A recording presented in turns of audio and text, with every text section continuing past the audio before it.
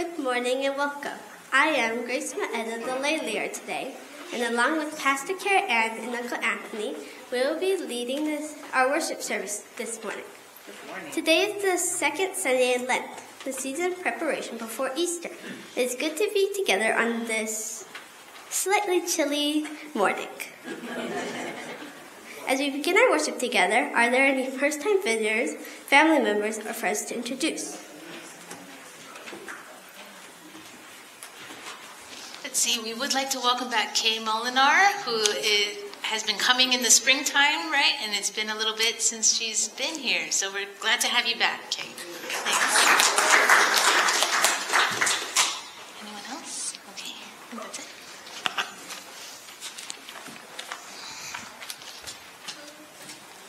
Later in our worship service, we will have a time for prayers of the people to be shared. Please use this pink sheet located in the pew racks to write down any prayer request, and it will be collected during the hymn of reflection. Let us continue our time of worship. Please join me in our call to worship by reading the text marked in bold. In the midst of life's storms, God is there. In the dark, darkness and terror, God is with us. Of whom shall we be afraid? Rise up, people of God, for you are loved and saved. Thanks be to God who cares deeply for us. Amen. Please stand if you are able for our opening hymn. We'll sing four verses of O God, our hope in ages past.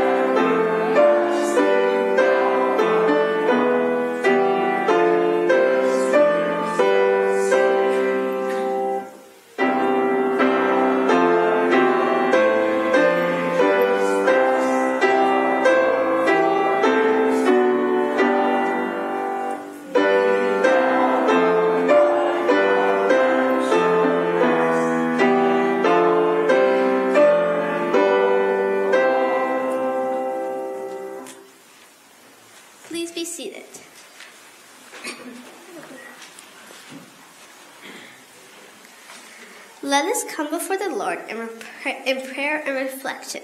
We will end our prayer by saying together the Lord's Prayer. Let us pray. Mighty God, who speaks a word of peace to calm our troubled sea, we come to you, we come to worship you this day. You are a caring God who nudges us away from fear and toward faith.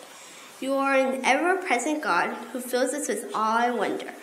Open our eyes to see you today. Strengthen our hearts for the journey ahead. And open our ears this hour to hear the word you speak. With one voice as a community of faith followers, faithful followers, we join together to say the prayer Jesus taught us, saying, Our Father, who art in heaven, hallowed be thy name. Thy kingdom come, thy will be done, on earth as it is in heaven. Give us this day our daily bread, and forgive us our debts, as we forgive our debtors. And lead us not into temptation, but deliver us from evil. For thine is the kingdom, and the power, and the glory forever. Amen. We come now to the sharing of our gifts and resources. The ushers will be coming around to collect any monetary offerings, and afterwards we will stand and sing together the doxology. We are grateful for the opportunities to share our time and resources so that others may see the light of Christ. We invite the ushers to come forward.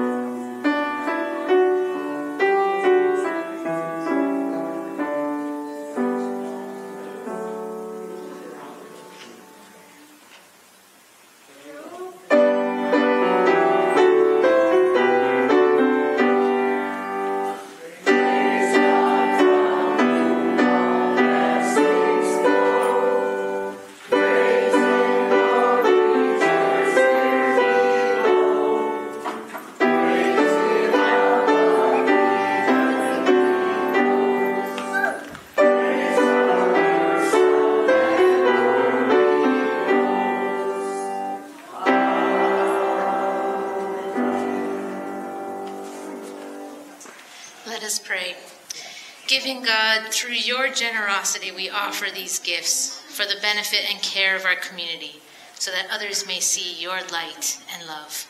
Thank you for your provisions. In Jesus' name, amen. amen. You may be seated.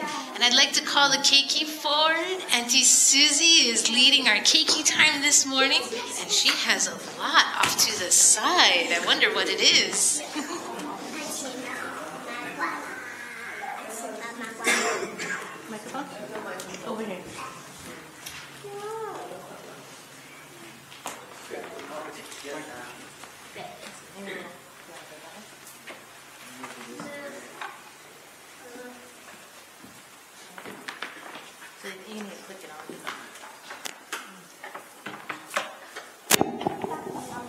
morning.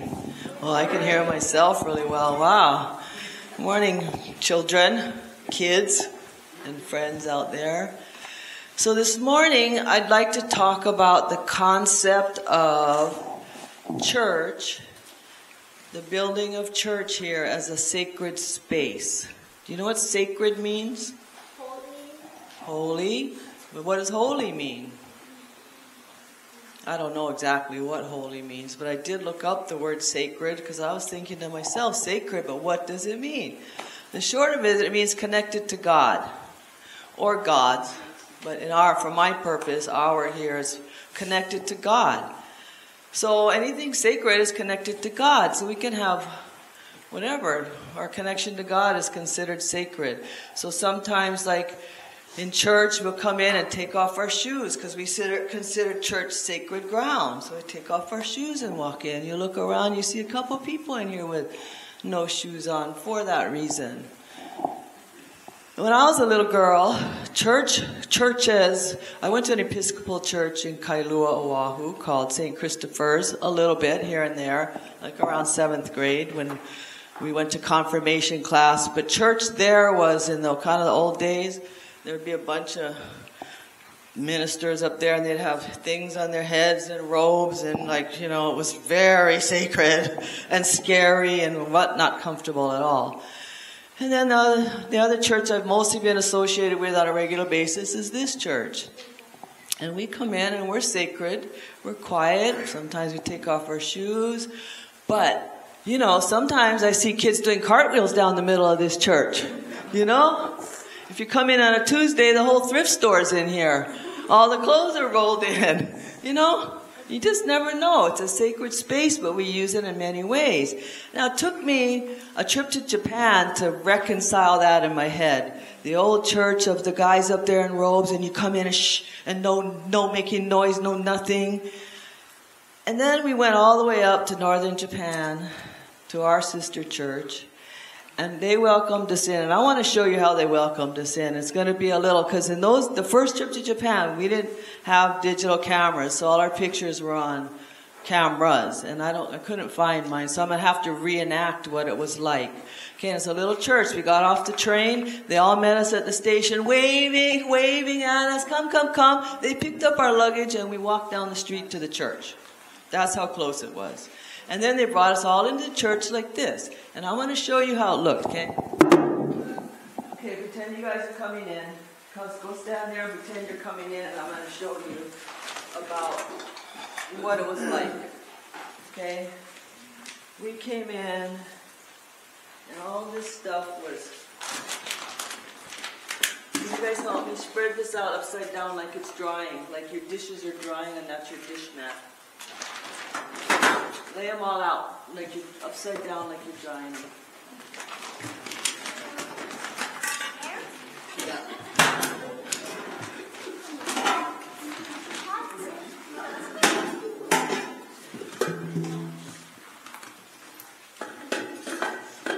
Yeah. Okay, come on. Come on over here.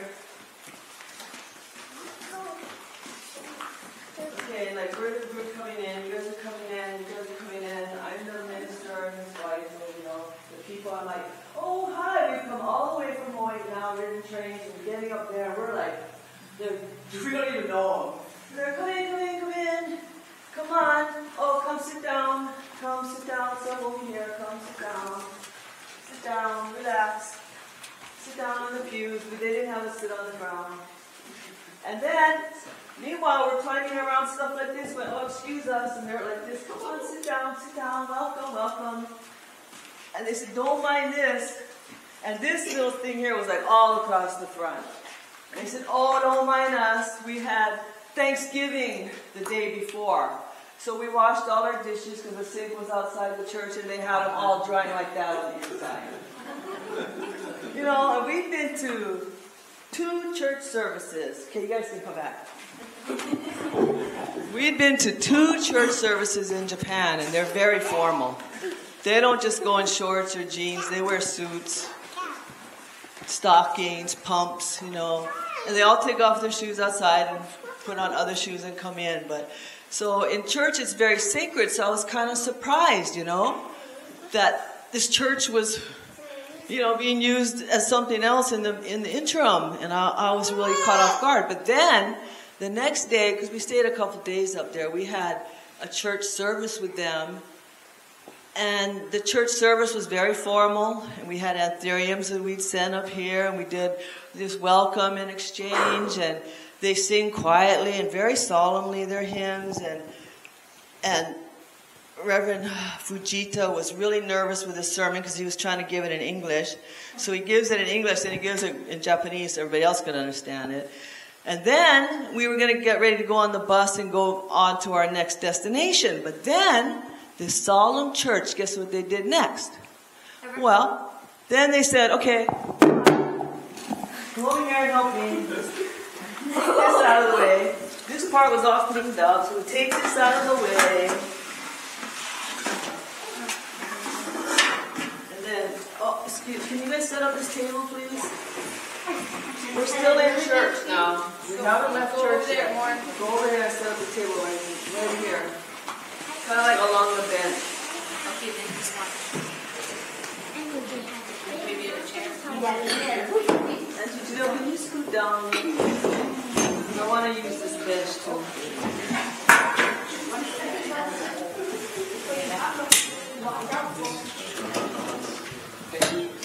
And meanwhile, while we they were mingling after church, this is what they were doing.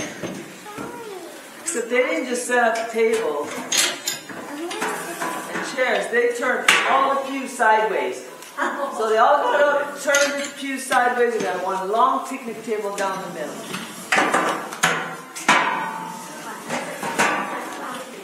That's what it's like. Excuse us, excuse us, don't mind. Okay. Everybody sit down at the table. Let's have lunch. Okay, let's have lunch, Ken. So let's put out all of our, yeah. our, our, to our lunch table over. Our plate. What? Come sit over here. Let's see where everyone sit.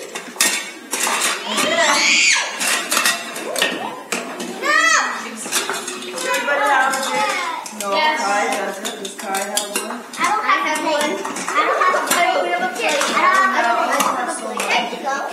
Listen, do you want to see it or not? I don't have a plate. There, Kai.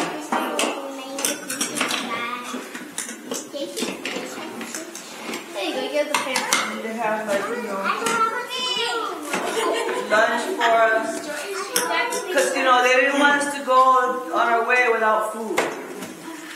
So, can you guys, everybody, oh, have some lunch. You guys don't open it now, only pretend you can have it later. What's your name? Forget. Kylie? Okay, have some lunch. Kylie. Kylie. Kylie. Small Kylie. Kylie. Kylie. David wants his food. Everybody have? Okay, let's just say a little prayer. Dear Lord, thank you for this lunch. Thank you for different exposures to things. Have everybody have a safe trip today. Amen.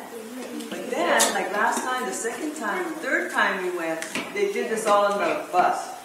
Before, because we had to quick get to our bus, so they handed lunch all up and down. We are all down the bus. We all got our sandwich and our drink and our our snacks, and off we went. So that's what I want to teach you guys about church as sacred space. It can be anything we want it to be as long as we're here together, connecting to God. Yeah, remember that, connecting to God. Okay, thank you. Here.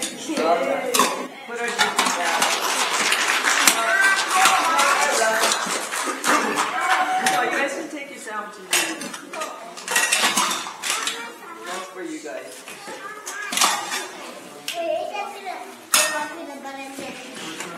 Somebody else? Okay, take it over there. You guys can put it.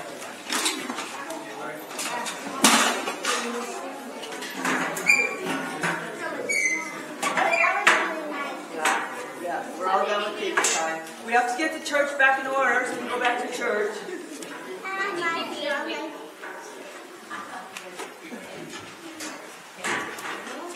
Just stick that under the piano. Thanks, everybody. Please. Thank you, Susie. That was wonderful.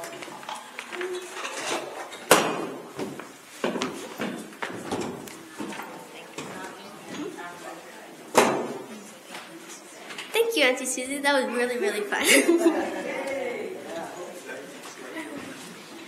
During our hymn of reflection, you are invited to use the pink sheets in the pews for prayer, concerns, or joys for yourself or others. The prayer requests will be picked up and, and Pastor Cara Ann will include the prayers of the pastoral prayer. Let us prepare our hearts for prayer as we remain seated and sing four verses of Have Thine Own Way, Lord.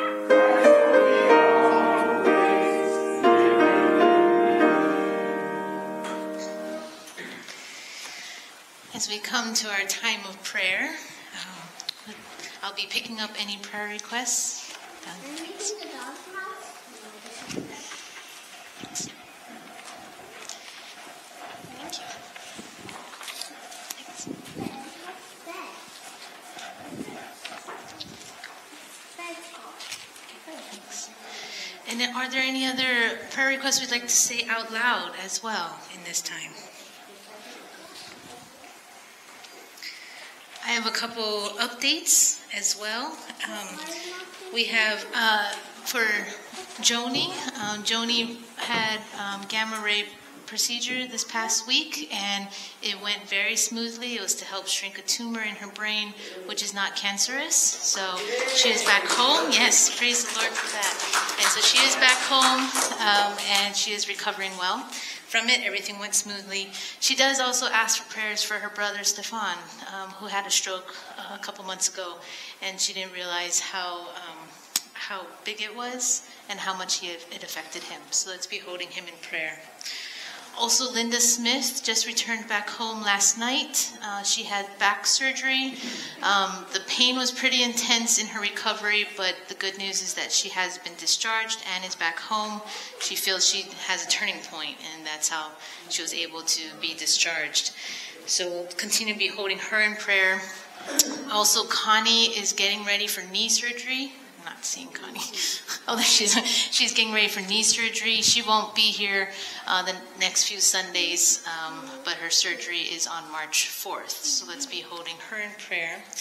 And also, lastly, we have a thank you from Ryder. Um, there's a beautiful card in the back, so see that on your way out. But Ryder, um, Joyce's grandson, um, uh, went through surgery a few weeks ago, and he is back home and doing well. So it is wonderful to be able to update one another. This is all part of our prayer time and our time as a community as well. So, holding those prayers and joys um, and concerns um, upon our hearts, let us continue this time of prayer. oh God, you have made your ways known to us across time and space. Stories abound of your loving care, and we are grateful. Help us not to forget your compassion for all of your children and how you encourage us to approach you with confidence, trusting you with all that are all the weights that are heavy on our hearts. God, we entrust to you those who are facing illnesses of body and spirit. May there be caring hands and compassionate hearts who are vessels for your healing. We pray specifically for Joni, for Linda, and for Stefan, and also for Connie as she prepares for surgery. Lord, we lift all the prayers that were just mentioned, the requests that were mentioned earlier. We pray also for Kathy, who had a fall last night and is a little banged up. Lord, we just ask for your healing upon her in this time.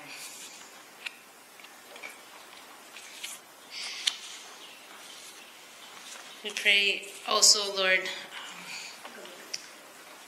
Lord, we also entrust to you those who are lonely and in need of your comfort and peace. May there be glimpses of your goodness in their lives, and may others bring joy to their lives as well. God, we entrust to you the communities in which we live. May your light pour into every corner and help us to reflect your light to others. We come also praying specific prayers of our church community. We pray from Caden, a prayer from Caden, that Daddy Tony's spirit is with us. Be with him in this time of missing him. We pray also for Nani's niece, Lani, and her husband, David, who recently lost their young daughter. We ask for comfort, Lord, and peace. We pray for Anel's father, 92 year old father, Ricardo Chagola, who is in the hospital due to many ailments. Lord, we ask for your healing and for your presence in the time of healing. We also pray prayers of joy for new ministries that are joining the Hawaii Conference churches. Let the work they do be a joy and concerns, and may their concerns be brought before the Lord, before you, God. Lord, we also give a big thanks um, from Lynn um, to her mom and dad for helping her out um, in this season. There's so much that we can praise you for, Lord, and so much more that is upon our hearts, and we lift these to you. God, we praise you for the ways in which you walk with us and remind us of your presence. Continue to strengthen us on this Lenten journey and guide our paths. We thank you for the gift of grace given through Jesus Christ, in whose name we pray. Amen.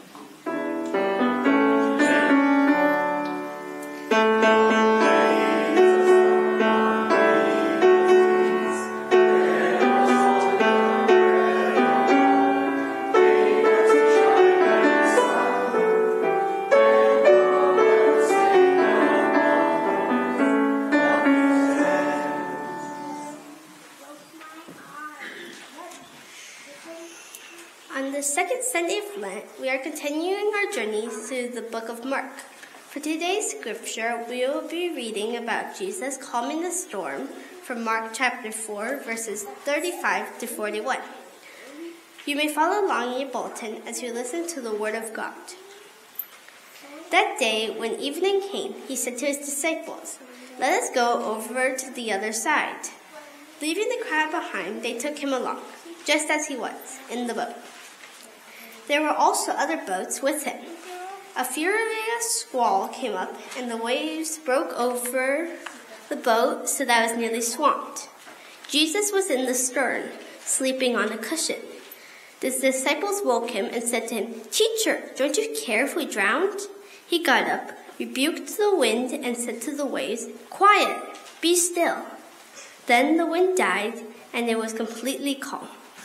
He said to his disciples, Why are you so afraid? Do you still have no faith? They were terrified and asked each other, Who is this? Even the wind and the waves obey him. Thanks be to God for the blessing of Scripture in our lives.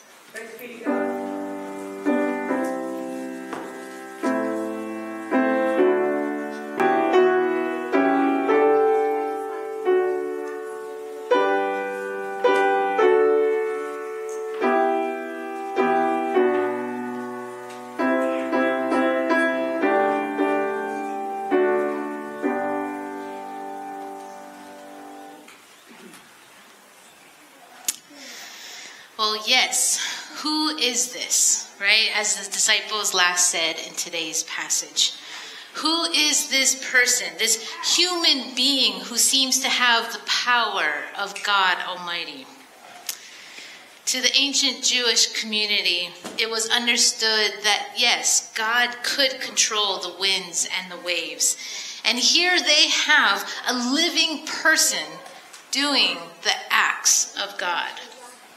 Their confusion, questions, and reverence are understandable as they see before their very eyes the power in which Jesus has.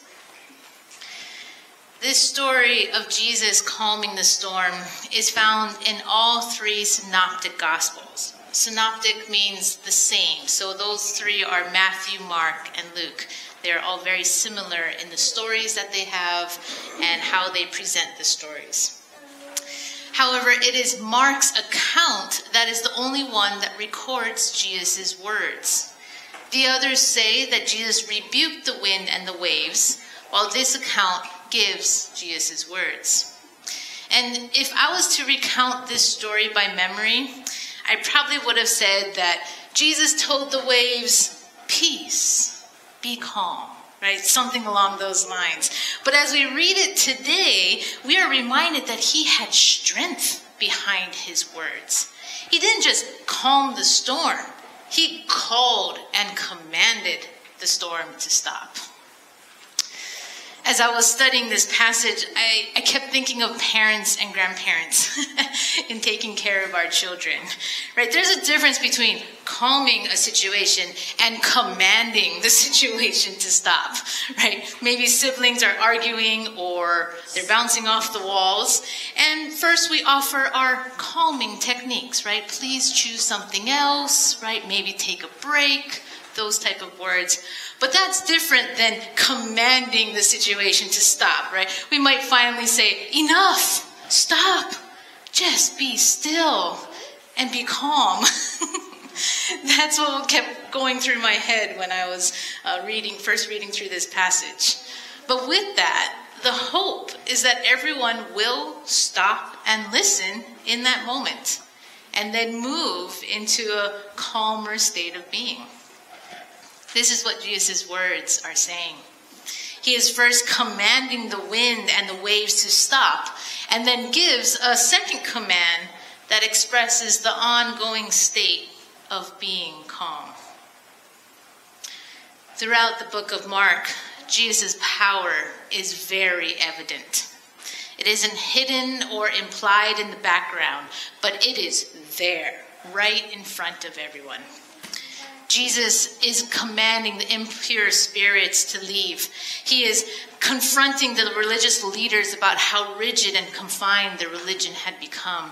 And here he is, silencing the wind and the waves, exhibiting only, only uh, the power that only Yahweh has, God has.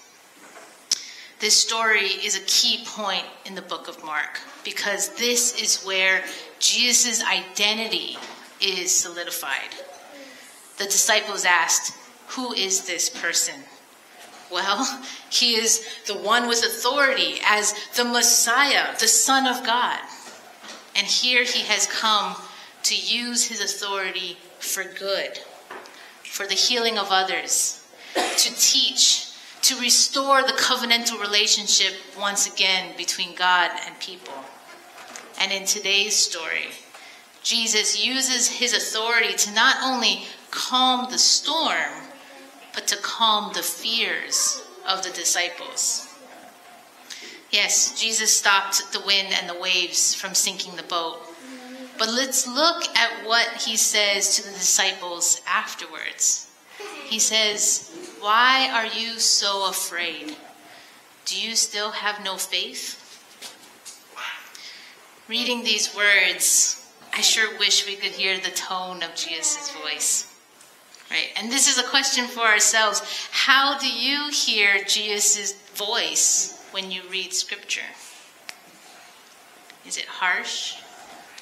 Is it guilt ridden? Is it calm and concerned? Over the years, my tone of Jesus has softened. When I read his words, I often hear compassion and a, a, more invitational tone instead of one that is confronting and stern. But that's all part of our interpretation. For this particular story, though, I hear his tone similar to a therapist who is asking their patient a similar question, such as, Why does that scare you? As if Jesus is there to explore their fears with them. But coupled with that question is the question about their faith. This one is tricky because he does seem surprised and is calling out their lack of faith. Well, this is a good example of the importance of reading biblical passages in context. And in this case, in the literary context, which is how the author chooses to write out the story. Prior to this story, we read about Jesus' teachings on faith, which he gave through parables. Right? Parables are stories that are relatable with good analogies that are helpful to those whom he's speaking to. Right? And there's a message within it. So, an example would be the tortoise and the hare for us. Right? It's an analogy to help us understand a lesson. So, Jesus spoke in parables. Well, prior to this story of Jesus and the storm, in chapter 4, we have three parables the parable of the sower, the parable of the growing seed, and the parable of the mustard seed, all of which talk about faith. These parables express the importance of first having a deep faith that is rooted in God so that it can stay strong. That's the parable of the sower along with the recognition that we have faith because God is working, even when we can't see it. That's the parable of the growing seed. And finally, in the parable of the mustard seed, Jesus teaches that it doesn't take much to have faith. It can start as something small and it will grow. After these three parables comes the story of Jesus commanding the storm to stop. This story is the culmination of Jesus' authority while also expressing the importance of having a deeply rooted, secure faith in God. When we read it in context, we can see the primary messages that the author was trying to communicate. Jesus' questions to the disciples, asking why are, what are they afraid of and about their faith, are important because there are storms in life. And Jesus is asking, what is stopping you from having faith through these storms? What are you afraid of when you are in the midst of crashing waves and the rushing wind? For the disciples, they were probably afraid of dying in that storm. Now, they aren't being overly dramatic in this storm, in this story. Storms on the Sea of Galilee can be pretty intense and can pick up rather quickly. I've seen it when I was in Israel. We were on the Sea of Galilee and the water was calm and peaceful. The boat was rocking slowly as we moved along the water. But then just a couple hours later, we were up on the hillside and the winds had picked up. We were looking down on the Sea of Galilee and the boats were just rocking back and forth. The weather had changed so quickly and the boats on this large lake felt the effects of it. So this story isn't physically unreasonable as far as a, a storm coming up quickly. However, on the other hand, going back to our disciples, many of them were fishermen and probably knew the Sea of Galilee pretty well. They knew how to navigate the winds and, and what to do when the waves were crashing onto the deck of a relatively small fishing boat. This is where their question to Jesus is rather interesting. They cried out to Jesus, saying, Teacher, don't you care if we drown? They aren't asking, Are you going to save us? But instead, they're asking, Don't you care about us and what we have to go through? Right? This is honest and real. How often people cry out to God saying, Don't you care, God? Where are you? And that actually becomes one of the most pivotal questions of our faith. Does God really care? When the book of Mark was written, the people were crying out to God probably in the same way. This gospel account was written around the time of extreme Christian persecution led by the Roman Emperor Nero. Peter and Paul were most likely executed by Nero, and there is fear just flowing through the Christian communities with valid reasons. The people were crying out, Don't you see us, God? Aren't you concerned with what we're going through? The question that the disciples asked are reflective of their time, the time in which it was written, but also relatable throughout history and also for us right now. In our darkest times, our honest thoughts and prayers could be asking, Where is God when there is so much suffering and difficulties? And more personally, where is God when I am suffering and going through difficulties? This story is real and relevant. We want God's power to be prevalent, for God to command the storms of our life to stop. We don't want to go through storms. But the reality is, is that storms do happen. And Jesus is getting to the heart of things by addressing the fears that are present in the midst of the storms. See, having faith does not mean that we don't have storms in our life.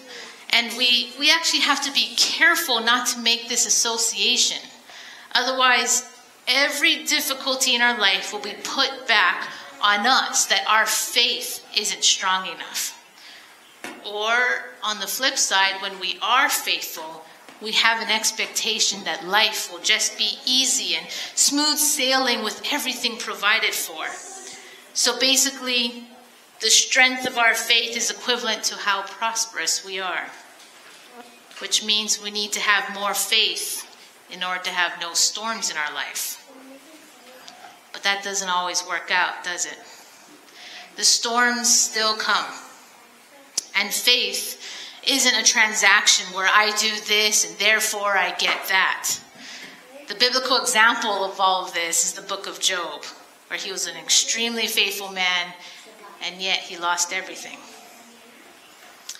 Instead, according to Hebrews chapter 11, says faith is confidence in what we hope for and assurance about what we do not see. Then the chapter goes on to talk about all the people in the past who exhibited faith, this type of hope, confidence, and assurance. Right? There's people such as Noah, Abraham, Isaac, Jacob, Joseph, Rahab, and so on. Well, did they all have an easy life? nope. They had storms in their life. I mean, Noah had to literally get through an actual storm, right, for 40 days. but having faith does not equal a storm free life. As a reminder, though, we don't have to have much. Our faith can be as small as a mustard seed, but our faith helps us to be confident that God is working, even when we may not see it. Maybe Jesus asked the disciples what they are afraid of because their fears were hindering them. Maybe all they could see were their fears, and therefore they cried out, Don't you care, Jesus? Jesus doesn't rebuke their fear. He asks them why they are afraid, especially when they have the option of having faith in a powerful, almighty, loving God. Maybe Jesus is asking, Why are you afraid instead of having faith? These are tough questions. But during the season of Lent, I would encourage us to reflect on it. What are your fears and storms in your life? There is space for us to express our fears as we journey with the Lord. For example, this prayer station is also a place that you can name those fears and place them on the cross throughout this season of Lent. Or as we talked about the Sabbath last week, during your Sabbath time, Talk about talk about the storms you are facing with the Lord. Fears aren't necessarily bad or wrong. I mean, healthy levels of fear actually help us to be aware of danger, right? So we can't say that all fear is bad. However, we can reflect on the fears that may cripple us. We can answer Jesus' question, and we can be honest as we journey with God what are the fears that hinder our faith or cause us to be reactive or make rash decisions because we're trusting on our own efforts and not trusting in the Lord? There is room for us to express our fears, and God can handle it. As we work through our fears, we will find that our faith increases, but in a way that really trusts God, God's timing, God's decisions, God's plans and how God uses his power and authority. God can command the storms of life to stop. But when we put our trust and faith in God, it means that we are also trusting when and how God uses his power. Through faith, we are releasing how we think it should be, how God should do things, and then trusting that God is present, even though there are storms. So, what are the fears and anxieties that you are facing? Or what do you feel you will face in the future? What do you need to give to the Lord or talk with God about during this Lenten season? We're going to take a few moments to reflect on this. Anthony is going to play a little bit for us, and if you would like, there's also space in your worship bulletin to write down any notes. But let the Spirit guide your thoughts as we come before the Lord, offering our fears and anxieties and the storms in our lives.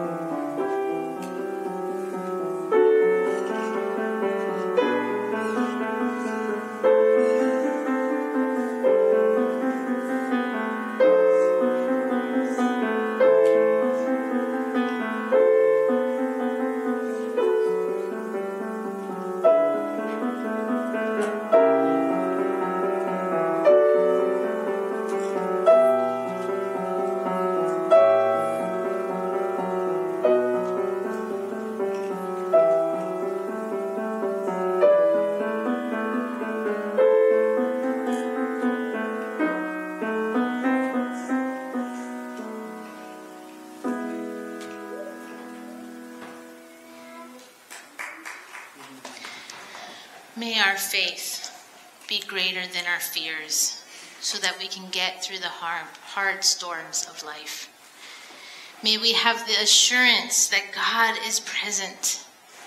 And as the scripture said, that God does care. Amen. The song we'll be singing next is written by, was written by a man of faith who also experienced a lot of tragedy. Horatio Spafford lost huge amounts of property in the Great Chicago Fire of 1871. He and his wife also lost a son to sickness, and then they lost all of their daughters when their ship sank on the way to England. He had lost so much, and yet, in his grief, he wrote this song when he sailed over the part of the ocean where the ship sank. He is a reminder, this song is a reminder, that our faith can help us to be able to say, It is well with my soul. We will remain seated as we sing three verses of this beautiful song.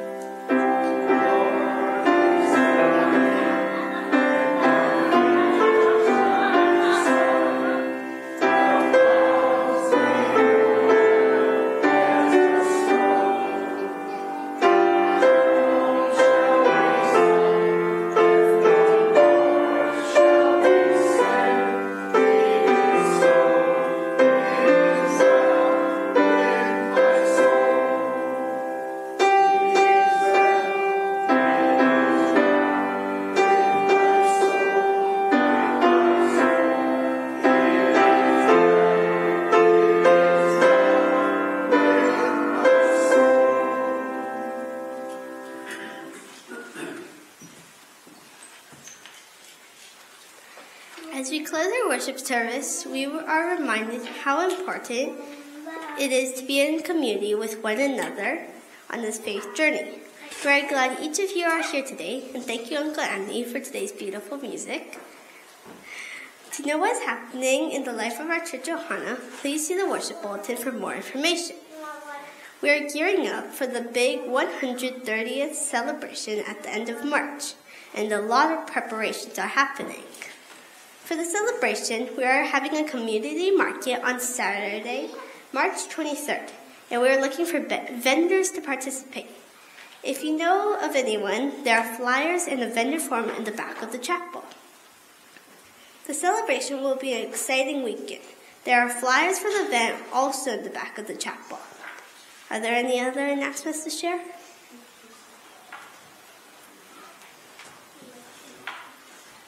Um, we have uh, Nicole, who is a college student who's away at college in Portland, and uh, we'll be sending her a box of goodies from us. So there is a card in the back if you just want to write a little note. If the card gets filled up, there are also um, note cards if you want to do a separate note, but we'll put all of that into her box and be sending it off this week. So that's in the back there. Thanks. Thank you for the many ways all of you participate in the life of our church Ohana during the week and on Sunday mornings. Let's close our time together through song and then our friendship circle. Those who are able, please stand as we sing three verses of Just a Closer Walk with Thee.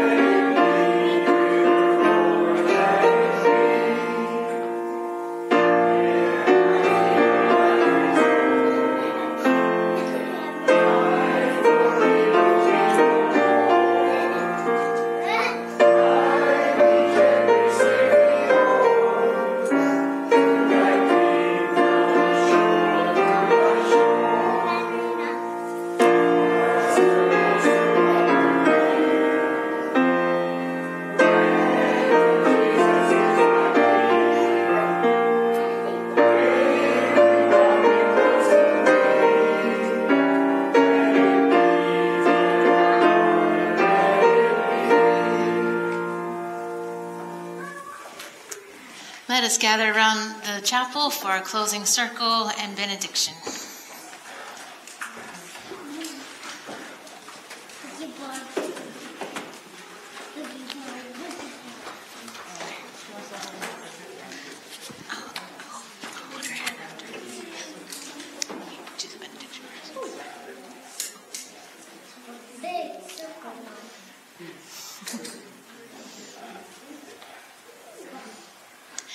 Circle reminds us that we are not on this journey alone, that we go together, whether near or far.